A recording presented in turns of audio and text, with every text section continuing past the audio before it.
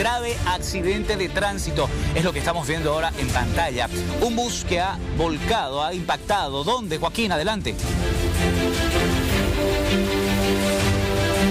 Fernando, estamos exactamente en el barrio Nuevo Palmar que se encuentra en la zona de los lotes, lotes y vamos a ver cómo han quedado estos dos vehículos, un micro transporte público y un auto particular que en plena intersección impactaron y como resultado de este hecho de tránsito dos personas resultaron heridas que tuvieron que utilizar algunos barrotes para retirar a las personas ocupantes de este automóvil.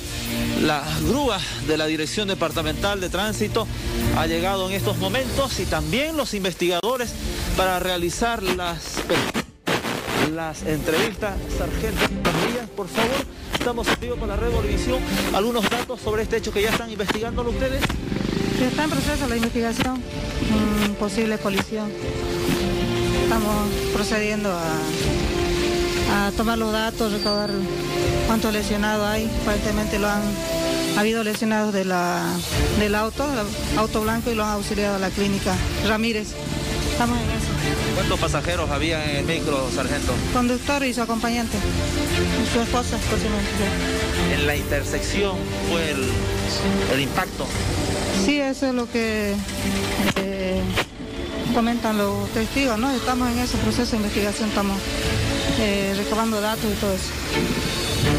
Muchas gracias. Los heridos fueron trasladados a la clínica Ramírez, los familiares o algún amigo de los ocupantes del auto y del micro, si están viendo este reporte periodístico, pueden trasladarse. Bien, Joaquín, es importante lo que nos estás mostrando. Vamos a volver contigo en cualquier momento.